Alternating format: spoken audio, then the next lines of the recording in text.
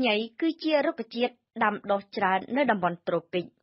មានពន្លឺនិងកម្ដៅព្រះអាទិត្យច្រើន គេបានរកឃើញដានជាលិលាអក្សរស្ដីអំពីការទទួលទានខ្ញីតាំងពីជាង3500ឆ្នាំមុនឯគុណប្រយោជន៍របស់ខ្ញីវិញត្រូវបានគេកត់ត្រាទុកតាំងពីជាង5000ឆ្នាំមុនឯណោះខ្ញីនេះមានប្រើប្រាស់ច្រើនណាស់ជាយូរយារមកហើយនៅតំបន់អាស៊ី ជាម្ហូបនិងជាឱសថនិងទើបតែនាំមកដល់ពិភពអឺរ៉ុបតាមរយៈពួករ៉ូម៉ាំងនិងក្រិចតែប៉ុណ្ណោះក៏ប៉ុន្តែនៅពេលនេះពិភពលោកទាំងមូលបានទទួលស្គាល់និងទទួលថាជាថ្នាំដ៏ស័ក្តិសិទ្ធិសម្រាប់ព្យាបាលជំងឺរលាកពោះវៀនផ្ដាសាយឬក៏សម្រកទម្ងន់ខ្ញីគឺជារុក្ខជាតិដែលមានប្រើប្រាស់តាំងពីយូរយារណាស់មកហើយនៅលើពិភពលោកសម្រាប់ធ្វើជាឱសថព្យាបាលជំងឺរំញោចប្រព័ន្ធការពារខ្លួន ប្រឆាំងនឹងការរលាក ប្រឆាំងនឹងវីរុសជំនួយការប្រយុទ្ធប្រឆាំងនឹងអាការៈក្តៅខ្លួន គ្រុនផ្ដាសាយអាឡែហ្ស៊ីកាត់បន្ថយការឈឺចុកចាប់ រំញោចឲ្យមានចំណង់ចង់ទទួលទានអាហារ ជួយពោះវៀន ប្រព័ន្ធរំលាយអាហារ ទប់ស្កាត់ការក្អួតចង្អោរ រំញោចនិងពង្រឹងសរីរាង្គ ហើយខ្ញីក៏ជាជំនួយផ្នែកវីតាមីន C ទៀតប្រសិនបើយើងទទួលទានវាជាបន្លែស្រស់ គុណប្រយោជន៍របស់ខ្ញីមកលើសុខភាពមានច្រើនអណែកគុណប្រយោជន៍មួយនៅក្នុងចំណោមគុណប្រយោជន៍របស់ខ្ញីដែលគ្មាននរណាទៅសូវទទួលស្គាល់នោះគឺសមត្ថភាពផ្នែកសម្រួលប្រព័ន្ធរំលាយអាហារបើតាមការសិក្សាខ្លះមើមខ្ញីគឺជាឱសថជំនួយពន្លឿនដំណើរការ metabolic ពលគឺជួយពន្លឿនដំណើរការរំលាយអាហារជាមួយនឹងសមត្ថភាពជួយកាត់ខ្លាញ់ជួយដុតសារធាតុខ្លាញ់ជួយសម្អាតបំពង់អាហារ ខ្ញីគឺជាមិត្តដ៏ល្អប្រពៃសម្រាប់ម្ហូបអាហារដែលមានសាច់និងខ្លាញ់ច្រើនការសិក្សាវិទ្យាសាស្ត្រជាច្រើនទៀតក៏បានបង្ហាញទៀតថាខ្ញីជួយទ្រទ្រង់ស្រទាប់កោសិកាពោះវៀនឲ្យមានសុខភាពល្អនៅឆ្នាំ1999អង្គការសុខភាពពិភពលោកបានប្រកាសទទួលស្គាល់ប្រយោជន៍របស់មើមខ្ញីសម្រាប់ប្រយុទ្ធប្រឆាំងនឹងរោគចង្កួត ចង្អោររបស់ស្ត្រីមានផ្ទៃពោះ ដូច្នេះខ្ញីអាចជំនួសវីតាមីន B6 ដែលគ្រូពេទ្យច្រើនតែចេញវេជ្ជបញ្ជាដល់ស្ត្រីមានគភ៌ធាតុសកម្មរបស់ខ្ញីដើរតួនាទីយ៉ាងសំខាន់ក្នុងការទប់កំអួតទប់ស្កាត់ចលនាក្នុងក្រពះហេតុដូច្នេះហើយបានជាខ្ញីកំពុងត្រូវបានគេយកទៅសិក្សាដើម្បីប្រើប្រាស់ធ្វើជាថ្នាំសម្រាប់ទទួលទានក្រោយពេលវះកាត់រួចដើម្បីទប់ស្កាត់អាការៈចុងក្អួតប្រសិនបើអ្នកជាបុគ្គលពុលានសូមទទួលទានខ្ញី ទឹកតែខ្ញីឬក៏ខ្ញីឲ្យបាន10ក្រាមមុននឹងឡើងជិះរថយន្តគឺជាការប្រសើរណាស់ឱសថធម្មជាតិប្រឆាំងនឹងការរលាកបង្កឡើងដោយមេរោគគឺខ្ញីនេះហើយជាពិសេសសម្រាប់លោកអ្នកដែលចង់បញ្ចុះទម្ងន់សម្រកខ្លាញ់ពោះដែលបង្កឡើងដោយការរលាកឬក៏អាហារមិនរំលាយ សម្រាប់ជាការប្រើប្រាស់ជាថ្នាំធម្មជាតិលាបខាងក្រៅឬក៏ស្អំខ្ញីក៏ជាមិត្តដ៏ល្អសម្រាប់ជួយលោកអ្នកក្នុងការកាត់បន្ថយអាការៈឈឺចុកចាប់នៅសាច់ដុំ នៅសន្លាក់ឬក៏ការឈឺចុកចាប់បង្កឡើងដោយការរលាកសន្លាក់ឆ្អឹងក្រិច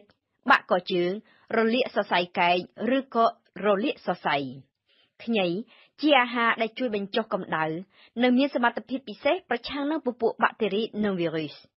ដោយហេតុតែមានសមត្ថភាពជួយពង្រឹងនិងភ្ញួចសរីរាង្គកាយរបស់មនុស្សលោកនេះហើយបានជាបណ្ដាជននៅអឺរ៉ុបមួយចំនួនធំមិនសូវហ៊ានទទួលទានខ្ញីនេះដោយចំហទេ ពីព្រោះតែខ្ញីមានឈ្មោះថាជាអាហារពៅចំណងផ្លូវភេទ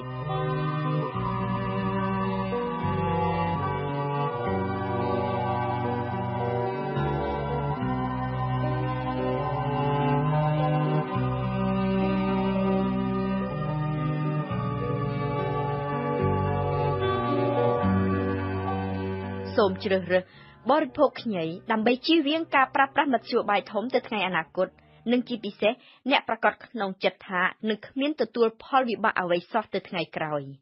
ការសិក្សាវិទ្យាសាស្ត្របានបង្ហាញឲ្យឃើញថាខ្ញីគឺជាឱសថដ៏ប្រសើរដែលមាននាទីជាអ្នកការពារខ្ញីជាថ្នាំបង្ការប្រឆាំងនឹងទម្រង់មហារីកខ្លះដូចជាមហារីកពោះវៀនធំពោះវៀនតូចឬក៏កន្សោមស្បូន ប្រឆាំងនឹងពួកជំងឺសរសៃឈាមបេះដូង ជំងឺវង្វេងវង្វាន់ និងកោសិកាមនុស្សកុំឲ្យឆាប់ចាស់សមាសភាពនៃសារធាតុសកម្មសំខាន់បំផុតរបស់ខ្ញី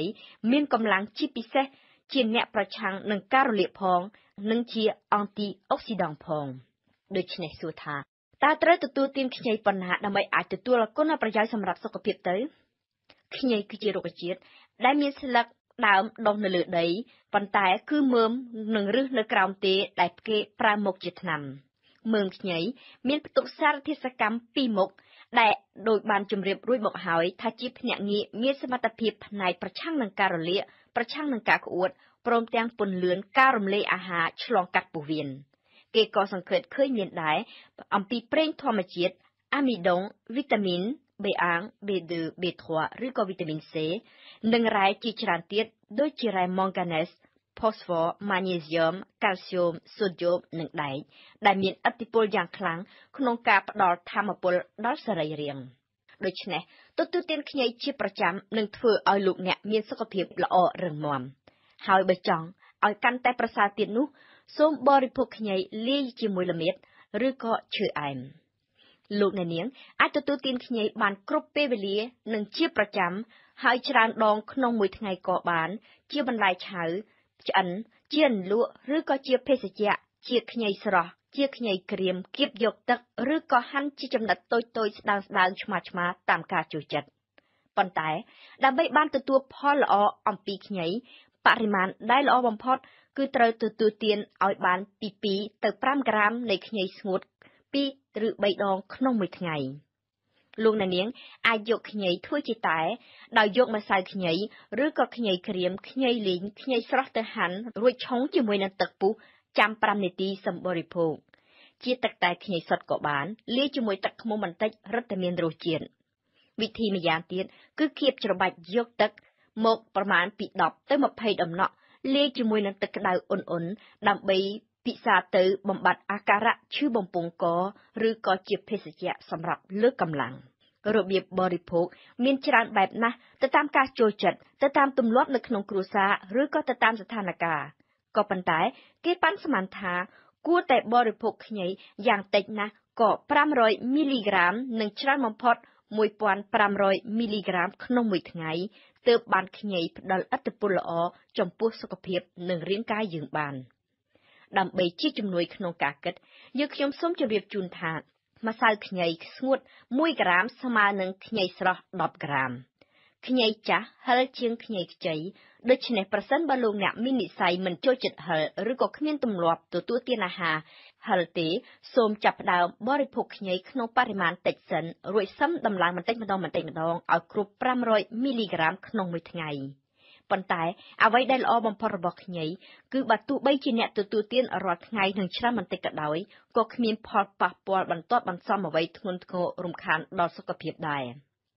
ចំពោះការប្រើប្រាស់ខ្ញីឬទឹកខ្ញីទៅលាបឬរឹតឬក៏ស្អំនៅចំកន្លែងមានការឈឺចុកចាប់តាមសន្លាក់ដែលជាវិធីព្យាបាលបែបបុរាណវាអាចមានផលរំខានខ្លះគឺមានការរលាកស្បែកប្រសិនបើយើងប្រើច្រើនជ្រុលជាការប្រុងប្រយ័ត្ន ថ្វីបើចាស់បុរាណខ្មែរមានទម្លាប់ឲ្យស្ត្រីទើបតែសម្រាលកូនទទួលទានខ្ញីឲ្យបានច្រើនបាយខខ្ញីឆុងតែខ្ញីក្នុងពេលនៅកំពុងសម្រាលកូនក្នុងខែនៅឡើយដើម្បីជាការកំដៅសរសៃនិងបង្ហូរឈាមអាក្រក់ឲ្យចេញអស់ពីមកក្រៅនោះអ្នកឯកទេសផ្នែកវិទ្យាសាស្ត្រសូមណែនាំអ្នកជំងឺដែលត្រៀមចូលវះកាត់មិនឲ្យបរិភោគខ្ញីឡើយពីព្រោះខ្ញីអាចមានសមត្ថភាពពង្រាវឈាម។